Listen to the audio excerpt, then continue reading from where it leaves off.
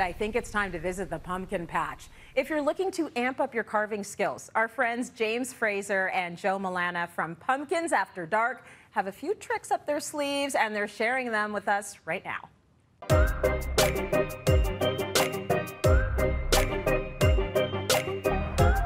Hi, I'm James and this is Joe. Today we're going to show you how to do jack-o'-lantern carvings as well as some pumpkin sculptures. But the first thing you're going to need is a quality pumpkin. Look at the bottom and press.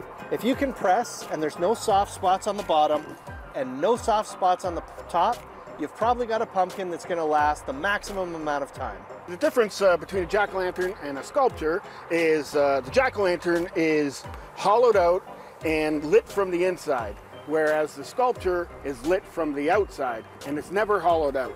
Very often we get asked what are the tools that are best to carve pumpkins, jack-o'-lanterns, or make sculptures. So simple tools like this are amazing. You can buy them at any hardware store. You get a, a regular um, drywall knife and you can easily cut into your pumpkin. Use this little tool to gut it and get all your seeds out and put them in the oven and make some pumpkin seeds. In the um, absence of a fancy tool like Joe tends to use, I tend to use the traditional scoop. Yeah. So I like to get in there and actually hollow it out. So don't think you have to have all the fancy tools to do this job. Next, there's millions of uh, jack-o'-lantern templates. Go online, draw it on cardboard and cut it out and put it on your pumpkin, or you can do what I did here, which is print it out and got, I just got some parchment paper and traced it and then taped it to the pumpkin. If you want your pumpkin to last, you have to use larger shapes. The ones that you see here in the background, they're really fine detail, and these are the ones that you would carve Halloween night. If you want it to last longer, use bigger, blockier shapes, triangle noses and that kind of thing. And the other thing we do is use a 20 to 1 mixture of bleach to water and give the pumpkin a little spray every night and that will keep it from going moldy. For the sculptures, you're gonna need a little bit more complicated tools and I'll let Joe talk about those. So you want to choose a pumpkin that's oblong for your sculpture, but you see how it's kind of squished here, right? You wanna start carving on this side or this side because that's where all the thick meat is. This giant loop is used to carve the surface of the skin of the pumpkin away so you could get to the flesh. So if I don't have one of these artist loops at home, can I just use my potato peeler? Uh, that would be a no.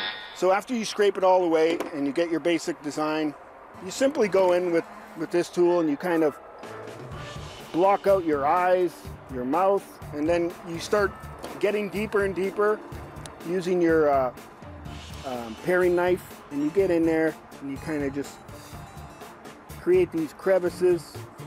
Get a light.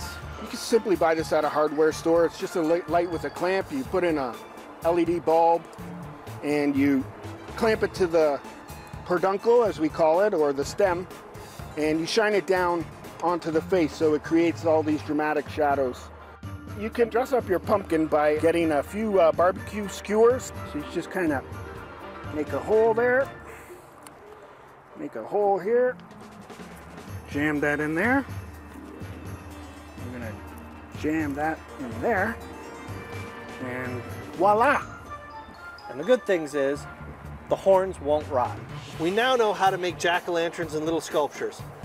What kind of tools do you use to make these massive 20-foot sculptures you see here? Well, we use a variety of uh, power tools, Dremel, uh, die grinders, to uh, dental tools for the fine work, uh, but we do not use chainsaws. Uh, we're working completely in the dark uh, because we have to see uh, the light coming out of the pumpkin.